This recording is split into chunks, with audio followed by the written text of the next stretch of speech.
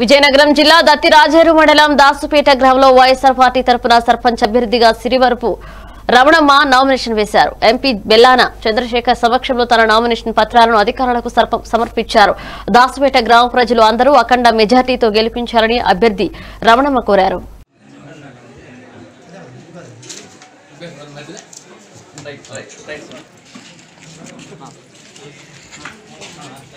నమస్కారం.